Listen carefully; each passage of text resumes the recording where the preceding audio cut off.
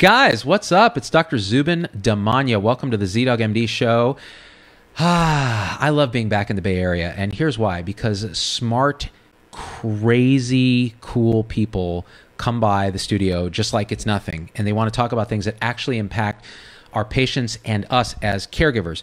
Today, I have Dr. Bob Harrison. He is a clinical professor of medicine at the University of California, San Francisco, and specializes in occupational and environmental medicine. Now, when I was a medical student at UCSF, I had a lecture from it could have been Bob, it could have been one of his colleagues. I the whole thing, I PTSD and the whole thing is blocked out. But I remember distinctly going, uh, yeah, occupational medicine is super important because we spend so much of our time at work. And not only that, but there's the socioeconomic status of people who are in jobs that, you know, as it is, they're sort of at risk for being unemployable, whether they're living on the margins or whatever, often have very high risk stuff. And then you even think about hospital workers and the and the risk they're put at.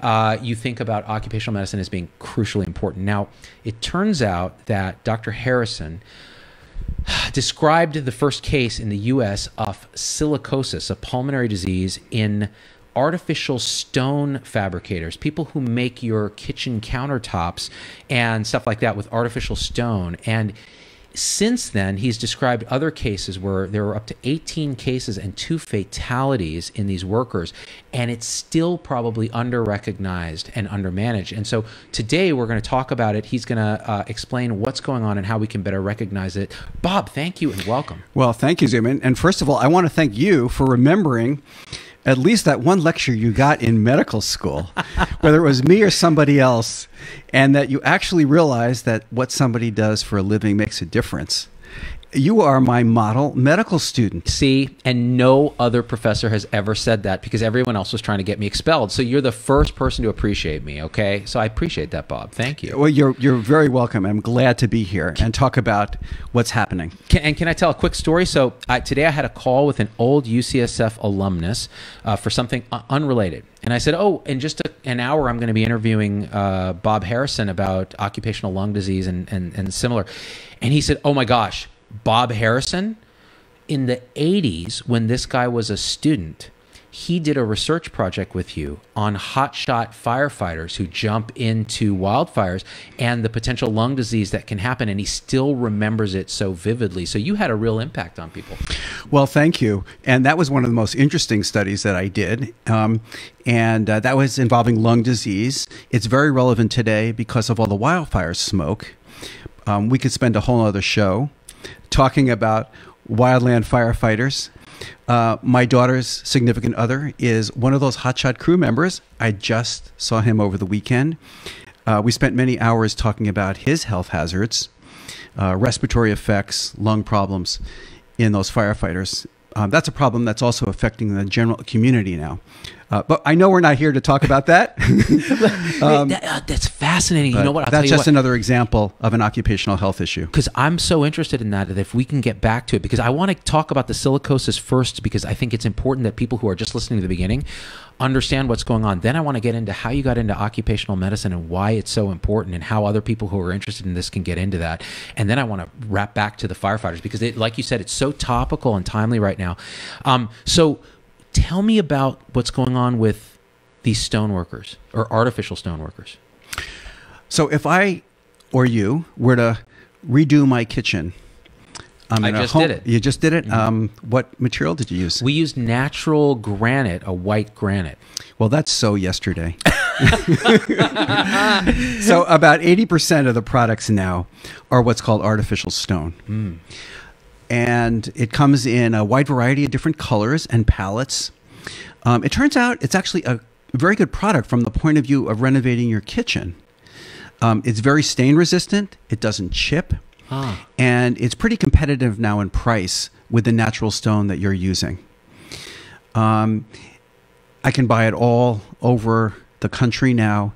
Um, it's uh, rated by many uh, consumer magazines as number one material. Really? What, what is there a trade name for it or something that? Yeah. Um, so the common names that you might recognize are Caesarstone, mm. Silestone, Silestone, uh, Cambria, uh, Zodiaq. Uh, these are common names. Uh, Vicastone is another one. There are also great names for vape juice, which I'm sure is not an occupational hazard. Yeah, we won't talk about Yeah. that. So, so, so this artificial stone. Stone, yeah. So it's artificial stone. It's a very popular product right now. Um, and the story of that material really starts in the mid 1970s with an Italian by the name of Toncelli, Marcello Toncelli, um, in southern Italy. And he invented this material that contains 93% silica. So it's very fine silica sand.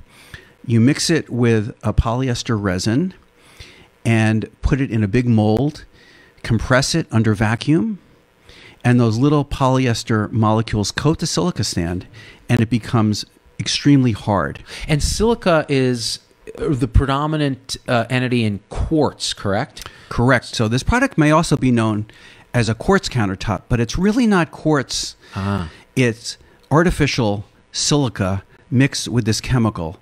And what makes this different is the 93% silica content. So the material that you use probably contains about 40 to 50% silica. Now that's dangerous if it's cut or polished or ground. But if you take a product that has 93% silica and you cut, polish, grind it, it releases very fine silica particles into the air that are then breathed into the lungs and cause scarring or silicosis. So, so because it's uh, it's artificially enriched in silica, it's worse than say a standard granite that has quartz or some silica in it, forty percent. This is more like what? How much? Eighty three percent. This is about 93%. So it's over 90%. So um, it's almost like silica in a slab or silica in a box. pure silica with. it's almost resin. pure sil- silica mixed with uh, a little bit of this polyester resin that becomes very hard. So it's like particle board, but with with stone. Exactly. way. Yeah. Exactly. Got And, and, and, and a lot of this is made from recycled stone, Mm. aggregate that then finally pulverized. Hmm. Now, um, Zubin, when you redo your kitchen, you're dealing with your contractor. Oh, I would assume. Don't remind me. Actually, he was, he was great. Yes. Big shout out. Um, now, the contractor or your designer, let's say, will tell you, give you some advice. You'll pick out this material in a tile or stone store, maybe a big box store. Um, you'll have it matched to your um, to your paint or your or to your floor, and then your contractor goes away and said, "Zubin, I'll bring this back in six weeks. You'll have a kitchen counter." He he subcontracts with a what's called a stone fabricator. And so They don't these- call them stoners because that's it. Just feels right to me, but it's not. That would it? be a good nickname, but no. so a stone stone Yeah. fabricator. yeah. Um, so if you were in Australia, where they've had a major problem with silicosis, you'd be called a stone mason. Ah, In this country, classy. Yeah, yeah, we, we, we would call them the fabricators. got it. Um, and these are the men, and, and I think they're almost all men, who are working in small shops. Uh, they will take the template from your kitchen counter and they will cut these large slabs to shape. Um, so they're cutting out the, uh, the hole for your sink, Yeah. for your um, for your soap dispenser. They're cutting it to the exact curvature that you want in your kitchen. Uh, these fabricators are polishing, cutting, and grinding. You can imagine that if that's done without adequate ventilation or very wet, that you're going to get a lot of dry dust that's released in the air. Mm. And when that dry dust is inhaled, those silica particles, they get down into the lungs and they cause this fibrosis, silicosis, which is one of the larger group of what are called pneumoconiosis. So, so how? What's the mechanism? The the silicon particles are small enough that they can get, or the silica particles are small enough. This is not silicon. This is silica. This is silica. Yes, mineralized silica, and it gets into the lungs past the usual defense mechanisms and settles somewhere and causes what an autoimmune inflammatory reaction. It causes scarring um, because of an autoimmune, because of an immunological response. So, an immune response down in the very small airways or bronchioles and then into the alveoli themselves. Huh. Um, and what's also interesting and uh, somewhat alarming about these particular uh, this particular kind of silica dust is that there is uh, autoimmune disease. Hmm. So that in some of the cases that we have found, uh, the initial presentation, the initial diagnosis has actually been rheumatoid arthritis or scleroderma. Oh wow. And these workers are going to the immunologist or the rheumatologist, and that's their initial diagnosis, and they're getting put on medication for autoimmune diseases. Wow. And and those medications won't help with silicosis. Uh, this medication won't help with silicosis. The one that they were put on, Eh, right? Because so it's misdiagnosed in a worker where if people had an index of suspicion, going, "What do you do for a living?" Well, I make these stone, these artificial stone countertops. If we actually were really beautifully trained, we would go, "Oh, let me ask you about this. Is there a lot of dust? Is there a lot of residue in the shop? Does your shop use a water process when you're grinding so that it captures the dust? Are there vacuums and ventilation? Do you wear a respirator mask?" Would those be Well, those are great questions. Those are all the exact questions that should be asked. So if a patient were to come in, um, person you know, or you see a worker, um, or you know someone who knows somebody, and they are short of breath, um, and they say, "Well, I'm a stone fabricator. I'm using artificial stone," then, bingo, uh, the synapse should be to silica. Mm, but right now it's not at all. And in fact, you described the first case. How did you find that case in 2014?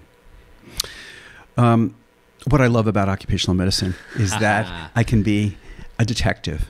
Ah, I think in another life I might have been Sherlock Holmes. that's aw- could I be Watson? You can be my Watson. I love it. I've always wanted to be a Watson, like not otherwise specified. okay. um, and that case came about because with some colleagues from the Centers for Disease Control, from their Occupational Research Institute, called the National Institute for Occupational Safety and Health, NIOSH. NIOSH, yes. Yeah, NIOSH. Um, we just posted a blog on the internet and called attention to this potential problem in the in the United States. And it was a knowledgeable and alert pulmonary doctor who wrote into the blog.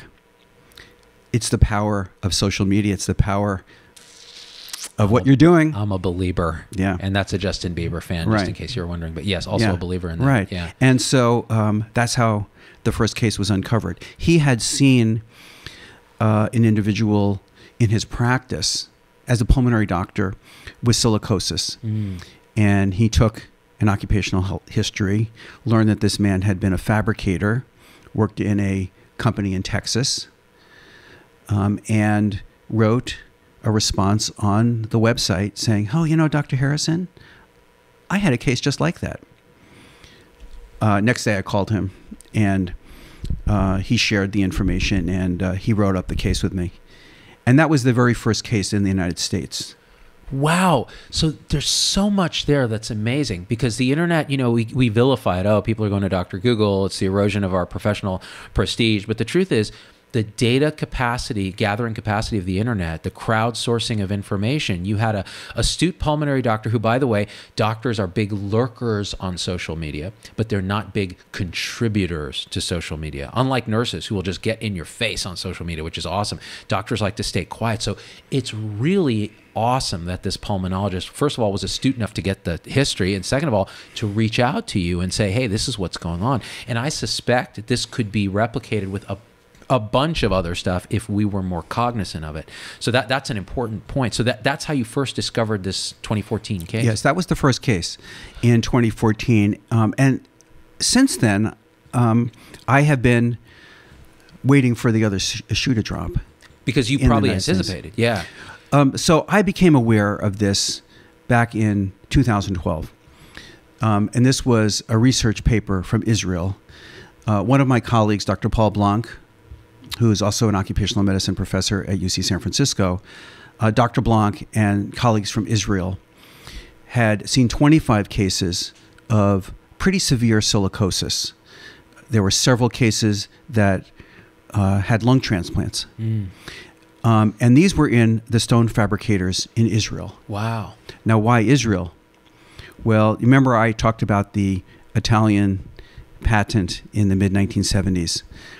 Um, that that technology to make artificial stone was licensed by Caesarstone. Caesarstone is an Israeli company. Oh wow. Uh, they operate out of a kibbutz in Israel. Yeah. And they began producing this product first for the Israeli countertop market.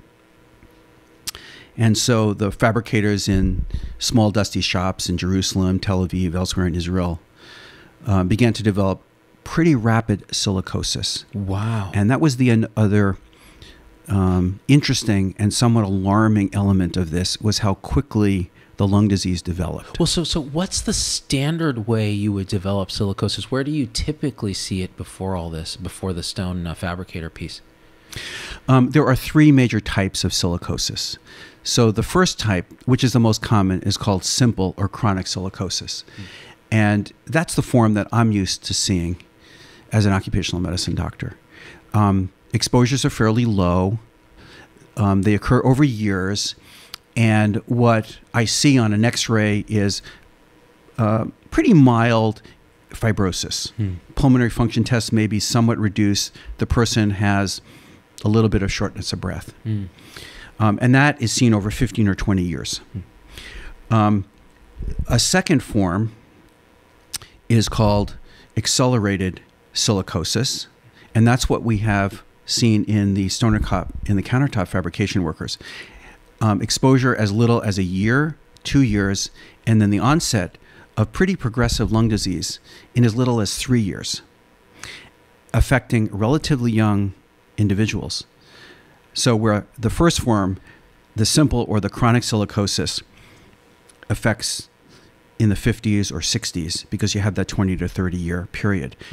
Um, most of the cases we're seeing around the world are individuals in their 30s and early 40s, and they have very chronic, they have very severe progressive lung disease.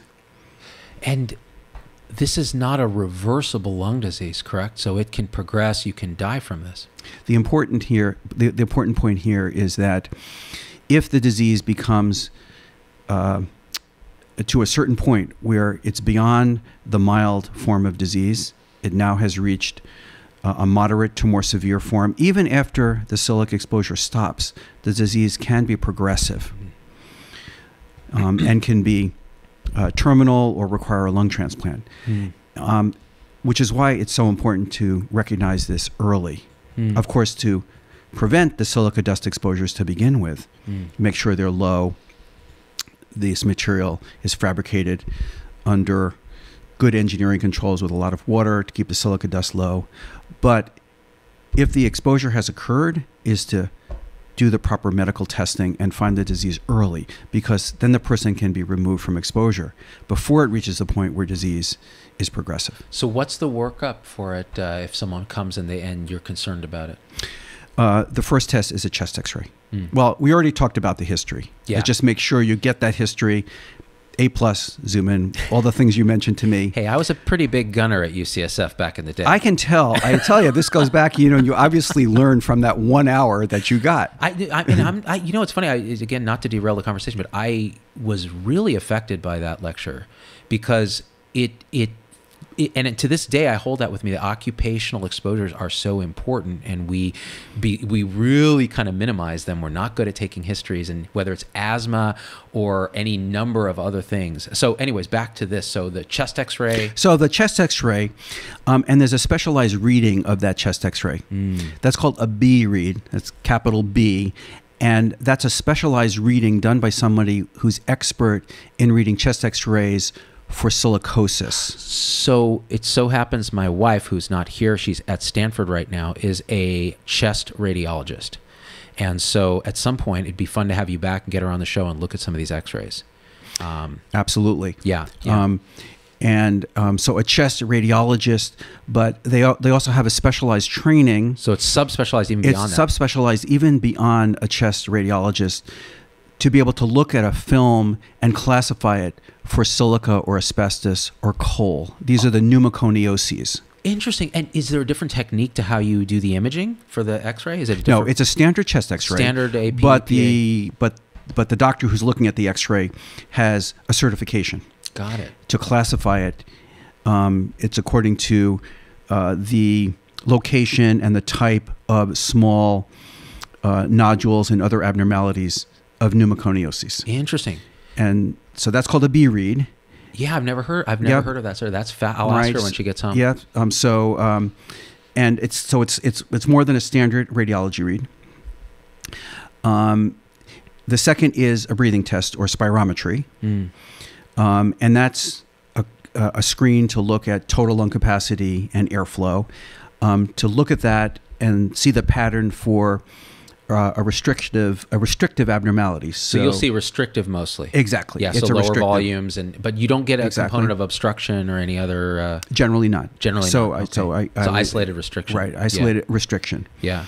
Um, and if either of those are abnormal and a person um, has some respiratory symptoms, shortness of breath, mild cough, chest tightness, um, they need then to be further worked up. They need additional testing. Mm. At that point, they need a chest CT scan, which is much more sensitive for the detection of silicosis, Mm. um, and they need full pulmonary function tests. Right. um, and that's going to include the diffusing Diffusion. capacity Yeah. hmm um, to measure the transfer of oxygen from the air into the circulatory system. So how is and we'll just get into the weeds for a second. How is the diffusion capacity affected by this disease? Is it reduced? It is reduced. So it is. It's going to affect diffusion, hence the requirements for oxygen. You're restrictive. Uh, there's scarring, etc. And the chest X-ray read by a s someone who's certified, you can get a sense. Go further in the history, make sure to see if they're having symptoms. Make sure you have the occupational history, and then think about a high-res chest CT to get deeper into seeing. Correct. Are you? And what would you see on the chest CT? I'm curious. Um, you see um, interstitial fibrosis. Uh-huh. Sometimes you'll see some ground glass abnormalities. Right. So very non-specific. Very nonspecific. Right. And that's where the occupational history Yeah. is key because you could see that chest x ray. And if you didn't know the occupational history, you could think, okay, autoimmune disease or idiopathic, Idiopathic. lung disease. Well, and th- this gets back to your beginning uh, discussion about the the person who was treated for rheumatologic disease. So can rheumatoid lung maybe look like that? Can Exactly. ah see? So this is where this is why I think occupational medicine resonated with me as a young person because it is a detective story. You have to talk to the patient, you have to ask the right questions, and you have to use your brain in eliciting a story from another human being. And it, without that, the technology will fail you because you can interpret those tests in a million different ways. Correct. I mean, in fact, in occupational history, I find fascinating on everybody and anybody. I love to find out what people do for a living. That's so cool. So I just ask them about what they do. Um, so you're at a party and you're just like, hey, so what do you do? yeah. And, what, what do I do? Then how what do you, do? follow? how- What, what's the next thing? you Um. I say, what do you like about what you do? What are you proud of? What do you do well? Tell me what you do. How do you make this stuff? Um, I think Zubin, it, uh, it probably started when I was uh, seven years old and I was playing by myself in the room, making erector sets, making Lincoln logs, um, putting together model airplanes, taking things apart and putting them back together. Uh, for me, uh, my passion for occupational medicine really comes from understanding how things are made. How do they get? How does that kitchen countertop get into my kitchen? yeah. Who makes it? Where does it come from? Um, where does the food on my table come from? Um, who's producing it? Is it safe for them? What's it like to work outside in 110 degrees and pick my food? Do they have heat stress? What can I do to prevent that? But it all comes basically from really understanding that people are at work eight, 10 hours a day. And no matter what they do, they have a story and it's part of the occupa- it's it's part of the medical story. It's part of what I see um, all healthcare providers ought to be doing. Eh, that's a such a beautiful description of it because it, it is it's this kind of deeply human thing too right like what are my, my fellow human beings doing at work and we spend so much time so much of our lives it's not work life balance it's work life integration is really what it is. And so how does that affect you know i think about our anesthesiologist breathing in sevoflurane fumes you know and and the or i mean is, is that something you guys have ever looked at? Like You know, you know one of one of the first cases I had right out of residency um, was uh, an anesthesiologist who had been exposed to halothane in the early days of anesthesia. ah, So before isoflurane, which is actually safer, um, uh, we used to use halothane. mm, Now, repeated exposure to halothane causes hepatitis, Oh, right. chronic hepatitis. Right. I remember this, Um, was- this. Yeah. yeah. It's, it's one of the, one of the reasons why we shifted away from using halothane because some of our patients would develop an uh, idiosyncratic or allergic type response to halothane. Yeah. Um, but anesthesiologists used to get this as well.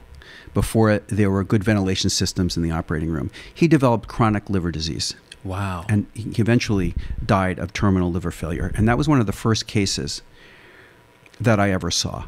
And you know, see, that hits close to home for physicians and nurses and other healthcare professionals because this, this is one of us, right? And, mm-hmm. and they're dying on the job. And you know, you can imagine a needle stick or other occupational hazards, but you don't think of like just breathing in, like, say, I don't know, bovie smoke in the OR. Has that ever been looked? Oh yeah, that's Ah. um, that's a standard that's been under development and discussion for many years. So Bovie smoke contains some pyrolysis products, you know, high temperature combustion of lung tissue.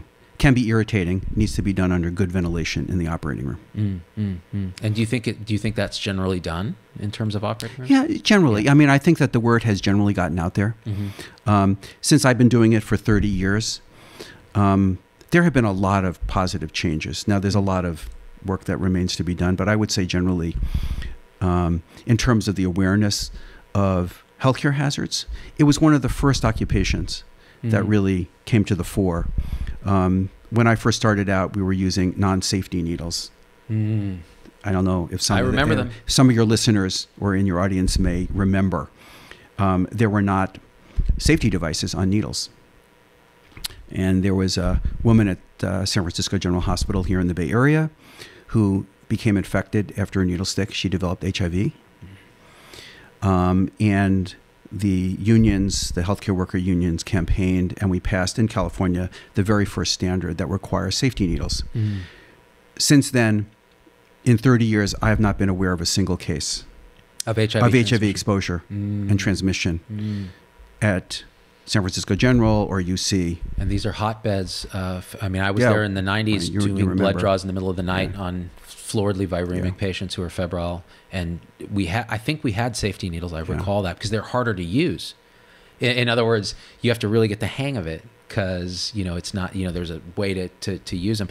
And, um, and I was thankful for them though. Believe, believe it. And, and so, so it's so fascinating because we start out with really lackluster controls and we all complain about regulation and stuff that's happening but this is about saving people's lives. And back to the silic- the silicosis people you have these companies right? And it's not like these are necessarily bad people that are running the companies but this is a kind of a recognized risk right you want to reduce dust you want to use the water but the regulations aren't that strong inspections aren't really mandated i don't think and screening isn't a standard protocol for workers in these fields so are any of those things things that you would like to see happen or how would you like to address this There are very tough workplace standards for silica dust. Hmm. Those were passed in 2016, oh recently just very recently. yeah It was um, in the last year of the Obama administration. Hmm.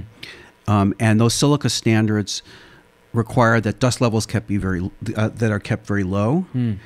um, and requires that those workers get the type of silica medical exams that I described to you. Get that chest X-ray and breathing test, and then get referred for a specialist. right So the standards are very tough. Um, what we need is a combination of tough enforcement, Hmm. um, and we need help and consultation for the companies who are making or fabricating the products. Hmm. Um, many of these companies are small. Hmm. Um, they're working on pretty small margins. Um, you don't want to pay a lot of money to put your kitchen counter in. right You're trying to save money when It's you're tight. redoing your kitchen. yeah Um, uh, you want to get a product that meets your budget. Um, so these companies are working on pretty small margins. So they need help putting in good ventilation, uh, adequate water supply. Uh, for a small company, that can be fairly expensive yeah if their margins are small.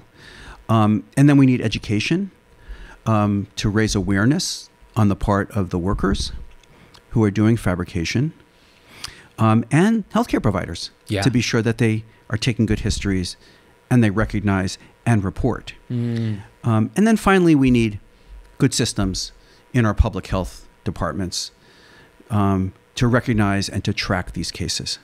So, as much as I like to think social media is great. And Bob Harrison putting with colleagues a blog that a pulmonary doctor notices and writes something. Um, that's not a system. Yeah. So we need a good system to be able to track and then uh, prevent these cases. So it's a combination, if you will, of the stick, you know, aggressive enforcement, and then a carrot with education. So we need a really good OSHA and we need a good public health system. It make, makes perfect sense. And one thing that I think I might add, it seems to me that these workers are, if you know, if the margins are low, they're probably low-paid workers without a lot of other skill set. They might be afraid to come forth and complain about the conditions for fear of retribution, losing their job, being unhireable. Is that something that you think has come up? Yes. Yeah. Um, so you're exactly right. Uh, this this workforce uh, is what I call precarious. Mm. Um, relatively small employers. Uh, they don't belong to a union, so they don't have that union protection, the rights um, that are protected from harassment or being retaliated against. Mm. If they were to get a, a silica medical exam and they were to be diagnosed with silicosis, I would advise that that patient worker no longer be exposed to silica dust. Mm. I don't want my patient to continue to have that hazardous exposure. It's their livelihood then. So Yeah. it's can be a choice between their livelihood and their health. And that for someone who is not making a lot of money and may not have a lot of other employment options Mm. is a really difficult choice. Um, and it's, it's really an ethical problem also for Yeah. me as a doctor at times. Yeah. Um, I, I want to do the right thing by my patient. I want to give them the note that says no exposure to silica dust. Uh, But I need to understand the consequence of that. If my patient takes that to his employer, right. they could be out of a job Right. and then they can't feed their family. Right. And and respirators aren't going to cut it, right? Respirators are the last line of defense. Yeah. Um, I've worn a respirator for some jobs around the house. Well, first of all, I have a beard you can see. Yes. So, So if I if right. I were a respirator, I'd have to shave my beard. Yeah. Yeah. Um, I haven't shaved my beard since I was 18 years old, by the way. Wow. That's like Dr. Phil. Yeah. um, but in all seriousness, um, respirators have to fit correctly, so they have to have a good seal. Um, and they're hard to wear for eight hours a day. Yeah. It's hot. It's you're sweaty. Yeah, People take it, just kind of loosen it, and then you're breathing in the dust. And Exactly. yeah, So Zubin, when you're yeah. ready, we have a couple questions. yeah. Hit, hit us with some of those. Okay, so we have supporter Desiree Castaldo. She's asking, so what about the epoxy itself? Is that the problem? So what about the epoxy? Is is there a problem with the resin they use, or is it purely the silica? That's a great question. Mm. So polyester resin mixed with the silica, these little silica particles are coated uniformly with the polyester resin. And there's research going on now um, in Israel at the basic cellular level to understand that possibly this polyester resin could cause a greater immune response. That there's something about the combination of the resin and the silica dust that makes this more hazardous than just the silica dust alone. So it's like an immune adjuvant, like we put in vaccines to help immune response. Uh, it's a similar f- scenario theoretically. That is the possibility. Yeah. Yeah, and that's at the cellular level. Mm. Um, what some researchers are looking at. It's a great question. This is one of my supporters. They subscribe for like four ninety nine a month. They're like the best people on the planet. Great question. Other questions, Victoria? Yes, we have another one from another supporter, Tony Frankie. Oh, Um, Tony, TF. What up, dog? He said the microparticles can only be stopped with bio warf- warfare grade filters. I think N95 would work also. I'm sure the doc will say. So is N95 sufficient for Yeah. these? Yes. Yeah. Yeah. So an, an N95 is probably sufficient um, given the concentrations. So uh, an N95 roughly filters out um, hazardous materials at a ratio of 10 to 1. Hmm. So in other words, let's say some something is at a, a, a level of 10 parts per million in the atmosphere. Um, if you put on an N95, you'll get it down to one part per million inside the respirator mask. Mm. Now that's in the ideal situation where you're wearing the right size and uh, it's fit correctly. Mm. Mm. And so, generally speaking, an N95 would do it. N95 will do it. Other stuff, uh, Victoria? These are good questions. Yes, we have another one from Michelle Wohler. Doesn't OSHA regulate PPE for different types of workers, or because this is a newer type of artificial product? So, does OSHA regulate uh, personal protective equipment for these sort of things? Yes. Yes. So the standard that I mentioned, that tough silica standard, Mhm. passed in 2016, um, requires respirators, um, and OSHA regulates those under that tough silica standard. And there's also a general respirator standard for all workplaces that OSHA regulates, and that sets the parameters for when and what type of respirator should be used. And so, absolutely, that would that would pertain to these workplaces. Interesting. Can I ask a question? So, I imagine you must be called to be an expert witness in a lot of lawsuit stuff. Is that something you do as an occupational medicine physician? I do. So Yeah. on two counts. One is uh, when uh, my patients have workers' compensation claims. Yeah. You know, um, I report it, and then they try to get compensated, and that's disputed. Mm-hmm. Um, so I give opinions in those cases, Right. but also what are called third-party or toxic tort cases. Ah. Um, so some of your listeners might be surprised to know that a worker cannot sue their employer.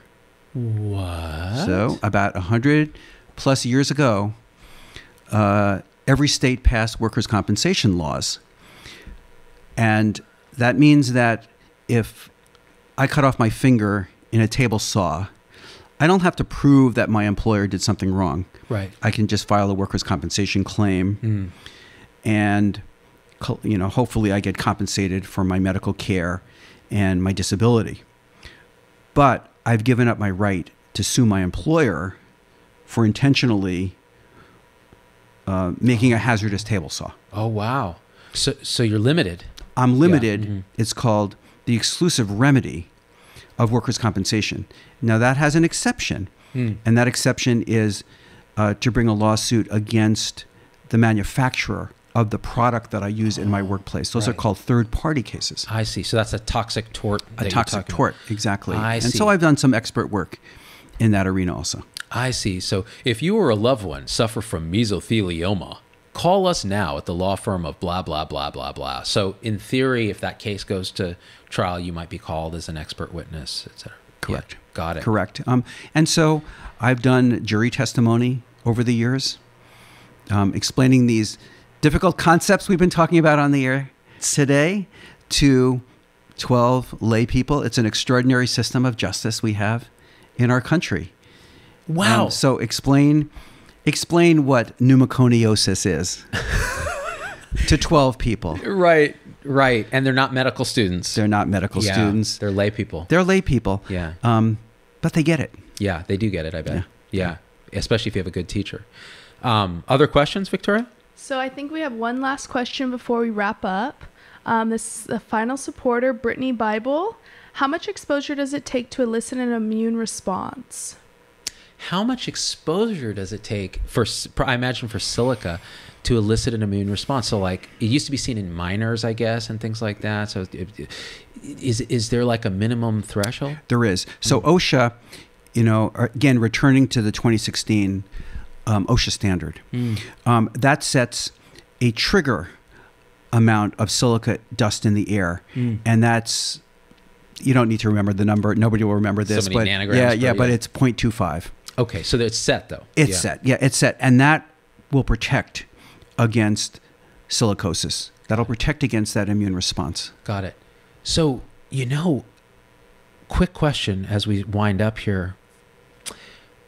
What's involved in training to be an occ med doc? So there's a fellowship, and is it? Can you make a living doing this, or is there just limited positions? Because I bet you there are people who are watching right now who are like, "This is my calling." What's what they're talking about? This detective work and this caring about working people and that sort of thing is what I want to do. What What are your thoughts on that? There is a specialty training program. Mhm. Um, we have one at uh, UC San Francisco. Hmm. Um, I'm the associate director of that program. Dr. Blanc, my colleague, is the program director. It's a two year program. It includes a master's degree in public health, Oh, it's part is of it. great. Yep, it's Ah. part of it. Um, um, and it's one of the happiest fields of medicine. It's ranked right up at the top of job satisfaction What? in the field of medicine. And it, it, you guys don't have Epic? Is that what it is?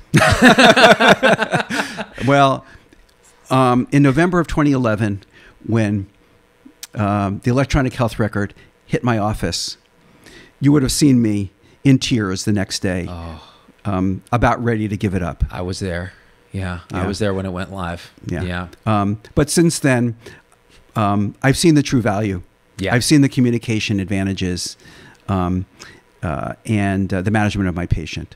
Um, but no, occupational medicine, in all seriousness, um, is a great field. Mm. I've loved it every day. Mm. Um, uh, I get to go out to workplaces. I get to be a disease detective, uncover new things, try to prevent illness.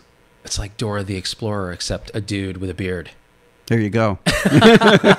so you know th- this is really awesome. Like this i'm so glad you could share this with us and it's so important because the call to action is people need to recognize this specific disease which we've been talking about but also understand how to take a good occupational med history because it's so important exposures and these sort of things. And, and i want to bring you back if it's okay because we're neighbors roughly within 40 miles of each other I'd love to bring you back to talk about stress in the workplace. How do you guys think about that? Things like mold, um, particular stuff relating to healthcare professionals and their occupational hazards. I, if you're game, I'd love to get you back to talk about those things. I would love to come back. Thank that you. That would be so awesome. All right, fam. So, guys, if you like the stuff we do, please, please, please share this video. Subscribe on YouTube. Click the little notification bell so you get notifications. Otherwise, you won't know when we put out a video. Join our email list. All those links are in YouTube descriptions. And if you want to support the show, you can subscribe on YouTube as a Super PAC member for whatever price you want to, or on Facebook for $4.99 a month, or on Patreon for whatever you want to support us with. It really helps us do the kind of stuff we're doing. I want to thank Bob Harrison for being awesome and rocking the most professorial coat I've seen yet on the show. Thank you, Zubin. And I want to thank you again for paying attention in medical school. you were great. you hear that, Dad? I did listen. My dad's always like, I bet you're just sleeping in the back, Indian guy. You know, you're just falling asleep. I know you because you do that at home when I'm telling you what to do. Uh, so I'm glad. Guys, I love you, and we out. Thanks to Victoria for handling the questions in the board. Peace. Not sure what that means, but I do it.